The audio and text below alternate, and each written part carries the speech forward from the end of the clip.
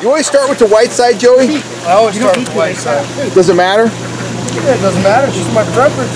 Gotcha. Um, white side has it's a lot thinner than the brown side. And it's just kind of the way I've always done things.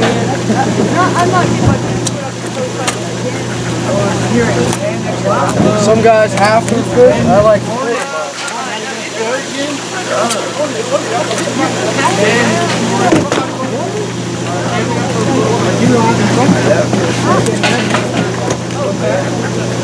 And I was back by 10. Yeah. And I was done at 8.30.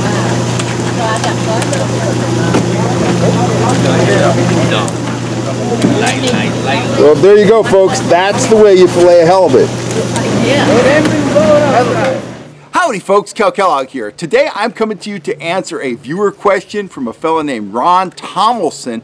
He is also a longtime Fish Sniffer um, subscriber and reader. He reads all my stuff. And I've actually fished with Ron out on the bay before. We've done some halibut and striper trips. And uh, remember one time we went way out to Fanny Shoals and uh, Ron nailed a couple lingcod over 20 pounds. But anyway, he reached out to me and he says, Hey, Cal, you know what? I know you keep a lot of fish, you eat a lot of fish. Why don't you talk a little bit about the kind of knives you use for cleaning and filleting fish? And also, how do you keep those knives sharp? And uh, all right, Ron, here we go. Nothing, uh, nothing fancy here. I got a couple, couple knives that I use all the time. If I'm dealing with big fish, like a salmon or a big striper, this is my big. I, I believe this is a nine and a half inch. It is a huge Kershaw fillet knife. I've had this thing for years. It's kind of cool. This is one, giving these away at the booth years ago. It has a Fish Sniffer logo on there. Anyway, big old Kershaw right here. I use that knife reasonably often when I have big fish.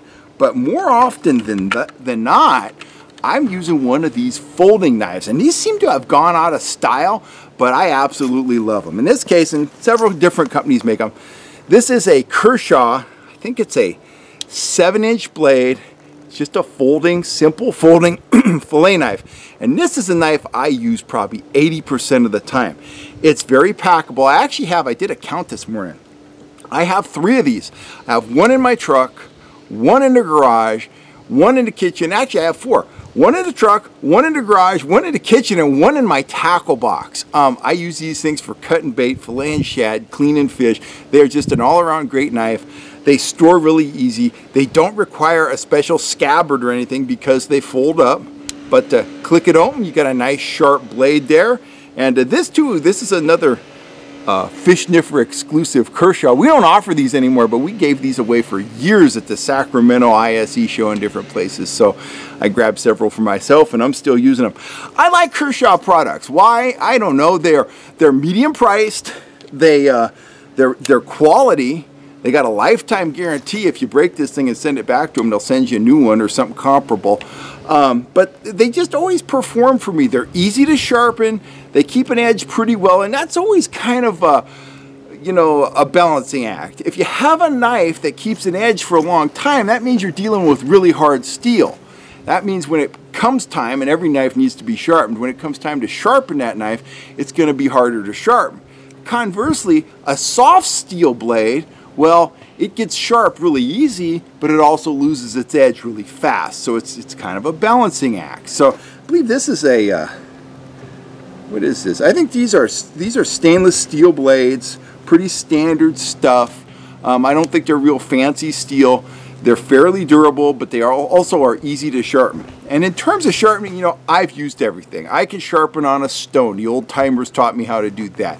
I can use a leather strap. I can even sharpen this on a cardboard box if I wanted to.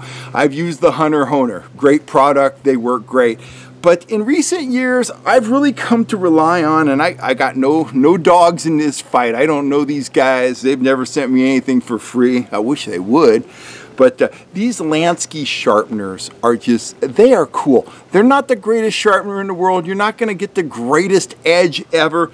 But uh, let me just kind of walk you through what they got in here. This is, it's a metal body. It's pretty hard. Up here, you've got like this ceramic, I don't know what you'd call it, kind of a ceramic blade. You can sharpen fish hooks on that. You can use it to quick sharpen your knife, stuff like that. That's just handy. Here's the main sharpening part. If your if your blade's really bad, you've got a carbide 20 degree angle notch there. You can draw that through there. That's only to be used if your blade is really, really dull. Right in front of that, you have a 20 degree angle pair of ceramic rods. That's where I do most of my sharpening, right through there. Give that knife five or six strokes. One of the keys to having a sharp knife is not letting it get super dull. When the first sign you feel it's starting to get dull, whip out your sharpener, give it six, eight, ten strokes through there. And then if you really want to take it to the next level, wet it and do a couple more strokes through there.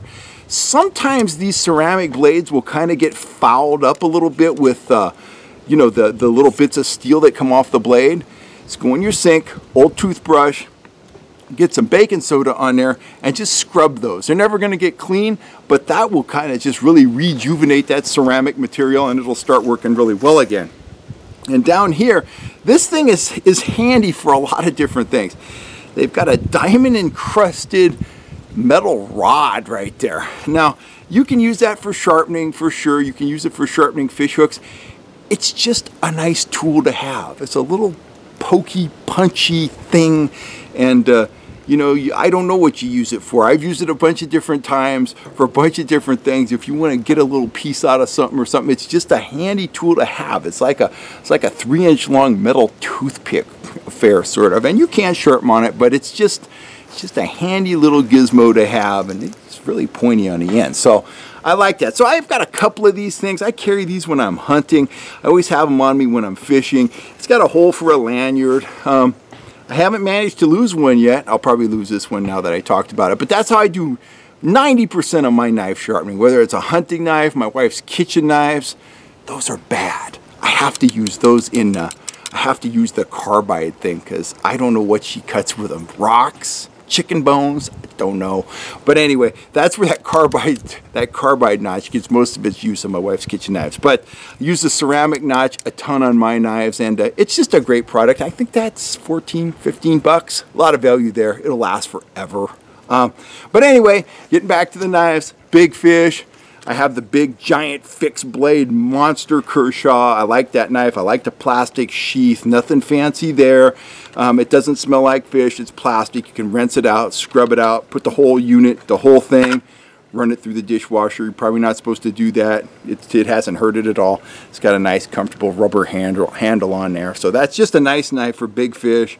And then once again, if I'm out on a lake you know, or even in the delta, and I'm catching medium to small size fish, I really like this folder. It's just really nice. It's really sharp. The blade is really thin.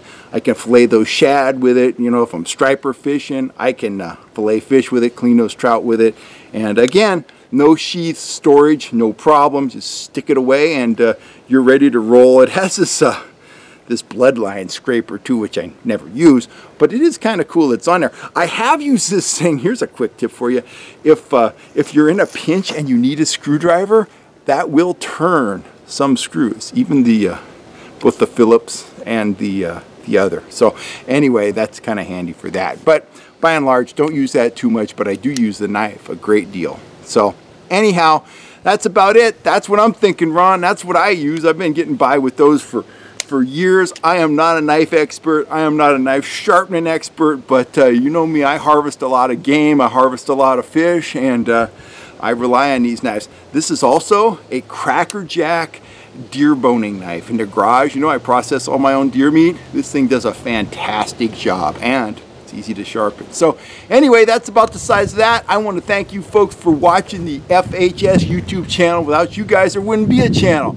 If you haven't had a chance, go ahead and hit that subscribe button. I will catch you next time. I hope you guys have a wonderful day. I'm signing off. I'm going to go run around my yard here and do some different stuff. I need to do some push-ups and stuff. But uh, anyhow, I'll catch you next time. This is Cal Kellogg, and I'm signing off.